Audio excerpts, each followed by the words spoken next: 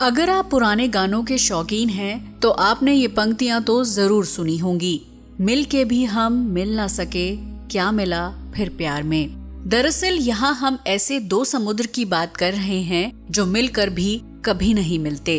कोई कहता है कि इसका ज़िक्र शिव पुराण में है तो कोई कहता है कि इसका ज़िक्र कुरान में है, लेकिन कोई भी इन दोनों का रहस्य नहीं जानता। हेलो फ्रेंड्स मैं हूँ श्वेता सिंह। यूनिवर्सल फैक्ट्स की दुनिया में आपका स्वागत है।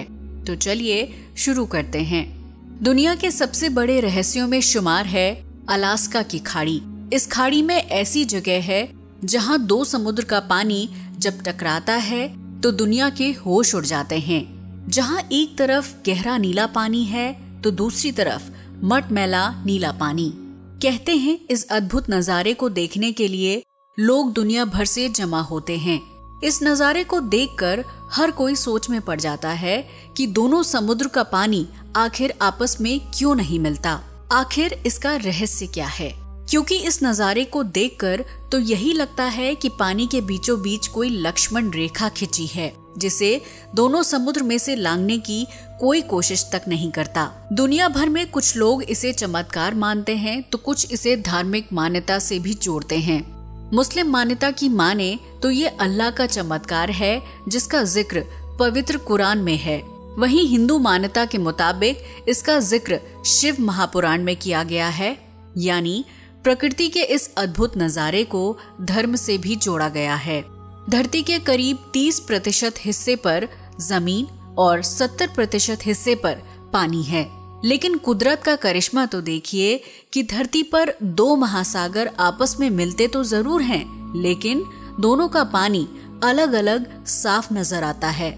दरअसल अलास्का की खाड़ी में हिंद महासागर और प्रशांत महासागर आकर मिलते हैं। इन दोनों समुद्र की सबसे निराली बात तो ये है कि ये दोनों कभी एक दूसरे की सीमा में प्रवेश नहीं करते जिसका अंदाज़ा आप उनके पानी के अलग अलग रंग से लगा सकते हैं। अगर आप इस नज़ारे को करीब से देखना चाहते हैं तो इसके लिए शिप की मदद लेनी होगी। कहते हैं कि दूर आसमान से देखने पर तो ये नज़ारा बेहद शानदार लगता है। दरअसल, ये एक ग्लेशियर से आने वाला मटमैला हल्का नीला पानी है तो दूसरा गहरा नीला पानी।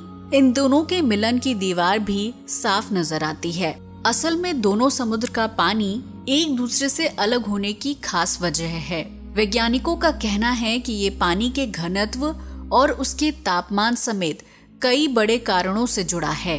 तमाम रिसर्च के बाद वैज्ञानिक इस नतीजे पर पहुँचे हैं कि इस जगह पर खारे और मीठे पानी का अलग अलग घनत्व और उनमें मौजूद लवण और तापमान के अलग अलग होने की वजह से दोनों समुद्र का पानी आपस में पूरी तरह से मिल नहीं पाता। प्रशांत महासागर का पानी ग्लेशियर से आने के कारण हल्का नीला और नमकीन होता है, जबकि हिंद महासागर का पानी काफ़ी खारा है। इन दोनों महासागरों का पानी ऊपरी सतह पर अलग अलग घनत्व होने की वजह से मिल नहीं पाता, और ये पानी जब आपस में टकराता है तो कुछ झाग पैदा होता है। ये झाग पानी की ऊपरी सतह पर एक सीमा रेखा की तरह नज़र आता है। सूरज की रोशनी में खारे और मीठे पानी के अलग अलग घनत्व के कारण दोनों पानी का रंग एक दूसरे से बिल्कुल जुदा होता है। कहा जाता है कि हल्के घनत्व वाला पानी ऊपर तैरता है और खारा पानी नीचे चला जाता है, यानी बटमैला पानी नीले पानी पर तैरता रहता है। लेकिन इसका अंदाज़ा हर कोई नहीं लगा पाता। खैर, जो भी हो, ये नज़ारा वाकई में चौंकाने वाला है। आज के लिए बस इतना ही। वीडियो अच्छा लगा हो तो इसे लाइक और शेयर करें। साथ ही चैनल को सब्सक्राइब भी करें। जय हिंद दोस्तों।